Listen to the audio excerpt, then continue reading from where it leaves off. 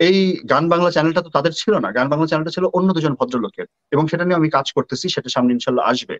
তো তাদের সাথে সে তারা আশি লক্ষ টাকার পার্টনারশিপে কথা বলে ঢুকে তাদেরকে বন্দুক থেকে আজকে গান বাংলার মালিক তারা হয়েছে। এবং সেই জিনিসগুলো আমরা আস্তে আস্তে সব উইথ ডকুমেন্টস আমরা পেশ করব ইনশাল্লাহ সামনে। না বলতাম সত্যি কথাগুলো যে না বলতাম এই সত্যি কথার পোস্টগুলো যদি না দিতাম তাহলে তো এই গরিব মিসকিনগুলো পঞ্চাশ টাকা করে পাইতো না পার কমেন্ট অনুযায়ী। যে আমাদের সরকার দুর্নীতিগ্রস্ত মানুষদের অনেক বেশি আপন করে নিয়েছে আমরা দেখতে পাচ্ছি এবং গান বাংলা চ্যানেলের যে তাপস তার মতো মানুষ এই সরকারের খুব কাছের একজন মানুষ। এবং কথিত আছে যে এই তাপস তো একদা লুৎফুজ্জামান বাবরের কোটি কোটি টাকা তিনি নিয়েই আজকে তার ফুল এফএপে এত বড় হয়েছেন এবং একটি চ্যানেল তিনি দখল করেছেন যে গান বাংলা যেটি তার নিজের চ্যানেল নয় অন্যের চ্যানেল তিনি নিজে তার শক্তি বা ক্ষমতা দিয়ে তিনি দখল করে নিয়েছেন। অথচ দেখতে পাচ্ছি যে এই গান বাংলার তাপসের মতো একজন ধান্দাবাজ ব্যক্তি। তিনি এই সরকারের এখন অনেক কাছের এবং ব্যক্তি এবং আমাদের মিডিয়ার মাফিয়া, যাকে আপনি বলেছেন যে আমাদের তানসেন তো আমার কথা হচ্ছে এই তানসেনেরা এদের উত্থান হচ্ছে এবং এদের আশেপাশে আপনি এখন যে মানুষজনকে দেখেন, এই মানুষজন অনেক কিন্তু, অনেকে কিন্তু একসময় আপনারও বন্ধু ছিল। তো এই এই দালালি গুলোর সম্পর্কে জানতে এই দালালদের উত্থান বা এই দালালি করলেই যে এত বড় হয়ে যাওয়া যায় বা বাংলার তানসেন হয়ে যাওয়া যায় বা এই তাপসের উত্থান, এগুলো নিয়ে যদি আপনার কিছু বলার থাকে। খুব কমন একটা ফ্রেজ আছে না, রতনের রতন চেনে। তো দুর্নীতিগ্রস্তরা তো দুর্নীতিগ্রস্তদের পেট্রোনাইজ করবে। দ্যাটস ভেরি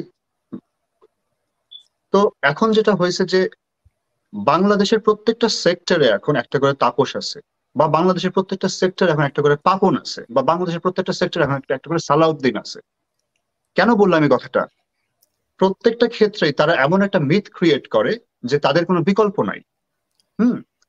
আজকে তাপসের Tapas was very lucky first of all তাপসকে আমি ব্যক্তিগতভাবে চিনি না। কারণ আমি যখন বাংলাদেশের ইন্ডাস্ট্রিতে ছিলাম, তখন তাপস ওয়াজ নো বডি এবং এটা তো তাদের একটা মানে সবসময়ের খেলা, যে তারা সবসময় কোনো, যখন কন্ট্রোভার্সিয়াল কিছু বের হয়, তখন তারা তাদের অতীত ঘাটে।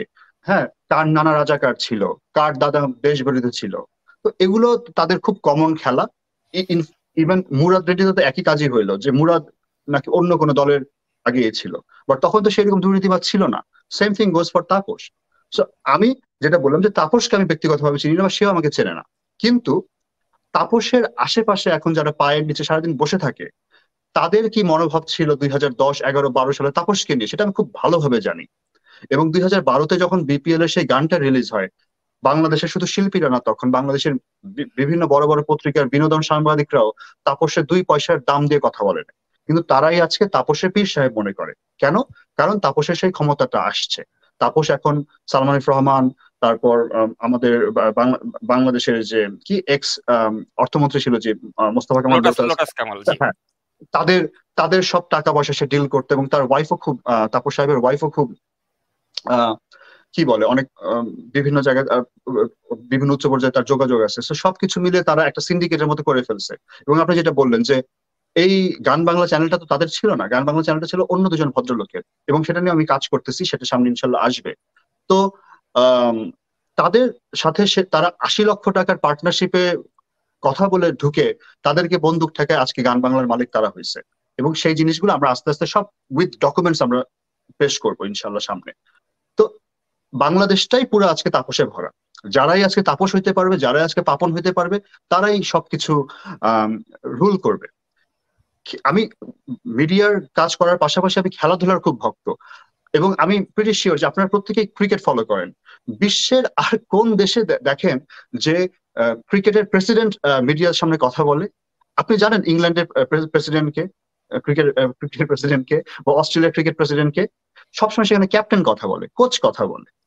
কিন্তু বাংলাদেশে সবকিছু সব জায়গায় ফুটবলে সালাউদ্দিন সাহেব ক্রিকেটে পাপন সাহেব মিউজিকে তাপস সাহেব এরাই আজকে বাংলাদেশটারে লুট করতেছে বাংলাদেশটারে খাজা করতেছে। এবং আরেকটি প্রশ্ন এই প্রসঙ্গে এসে যায় তাহলে উনি কি ক্রিকেট বোর্ডের প্রেসিডেন্ট কি আজীবনের জন্য উনি হয়েছেন? কারণ উনি তো এক যুগেরও বেশি সময় পার হয়ে গিয়েছে বাংলাদেশে আপনি আপনি ওয়াসা দেখেন আপনি তিতাস দেখেন আপনি বাংলাদেশের সব সর্বোচ্চ রাজনৈতিক পজিশনটা দেখেন। কারোরই তো বিকল্প নাই বাংলাদেশ। এরা সবাই তো ওয়ান এন্ড অনলি এরা আল্লাহ এদেরকে একদম স্পেশাল মাটি দিয়ে বানাইছে। সেই মাটিতে সোনা আছে, সেই মাটিতে হীরা আছে, আমরা তো ড্রেনে ধুয়ে পানি, পানিতে আসছি আমরা। সো আমরা তো এই জন্য দেশদ্রোহী হয়ে গেছি। হ্যাঁ? আমাদেরকে রাজাকার বলে আমাদের আমাদের জন্ম সেভেন্টি অনেক পরে, তারপর আমরা রাজাকার, দেশদ্রোহী।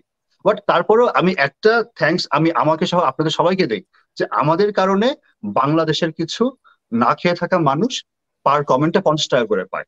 ওই বটদের ইয়েতে। তো সেই জন্য আমি নিজেকে মনে করি যে আমরা সামহাও বাংলাদেশের এই ইয়েতে ইকোনমিক্সে আমরা খুব ভালো একটা কন্ট্রিবিউট করতেছি। আমরা যদি এসব কথা না বলতাম, সত্যি কথাগুলো যে না বলতাম, এই সত্যি কথার পোস্টগুলো যদি না দিতাম, তাহলে তো এই গরিব মিসকিনগুলো পঞ্চাশ টাকা করে পাইতো না পার কমেন্ট অনুযায়ী। সো আমরাও সামান্য থ্যাঙ্কস ডিজার্ভ করি হয়তো এই গভর্নমেন্টের কাছ থেকে।